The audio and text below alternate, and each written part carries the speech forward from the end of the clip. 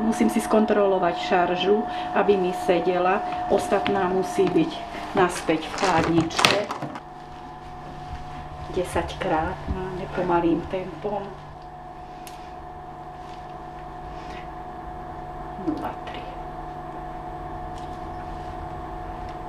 Musí byť presný. Pani Anka, ktorá celý život pracovala na rôznych ambulanciách ako zdravotná sestra, dlho na dôchodku nevydržala.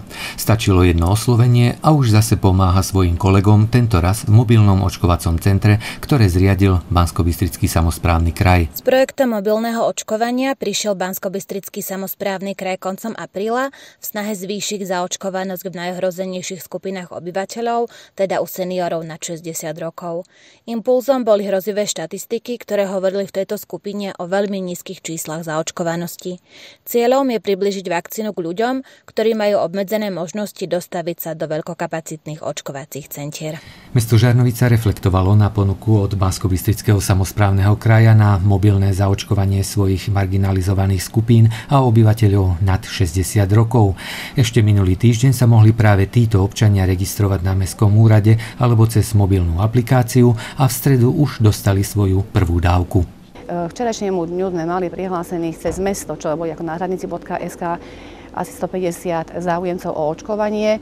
No dneska ráno už vlastne od tej pol sme začali.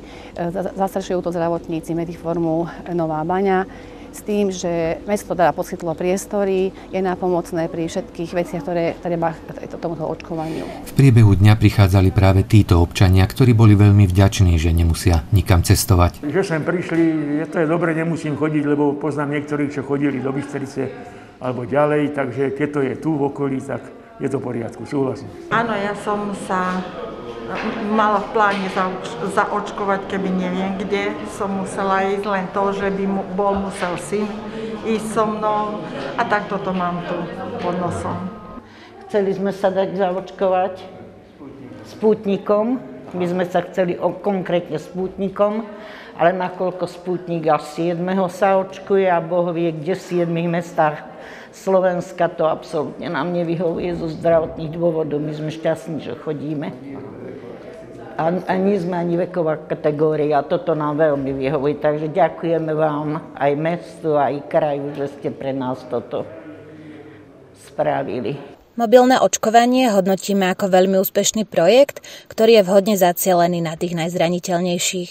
Do konca mája sme prostredníctvom mobilných očkovacích jednotiek zaočkovali viac ako 5100 ľudí a obišli sme 52 obcí v 8 okresoch. Na dnes sme do Žarnovice priniesli okolo 300 vakcín. E, sme tu dneska pre ľudí, ktorí majú byť očkovaní prvou dávkou vakcíny Comirnaty od spoločnosti Pfizer. Aj napriek tomu, že pre nenaplnenosť kapacít v Žarnovici sa nakoniec mohol prísť dať zaočkovať ktokoľvek nad 18 rokov, prišlo v stredu do kultúrneho domu 189 záujemcov. Z toho troch imobilných občanov zaočkovali priamo doma. Druhou dávkou, obdobne na vyzvanie, príde ľudí mobilná jednotka zaočkovať do Žarnovice zhruba o mesiac.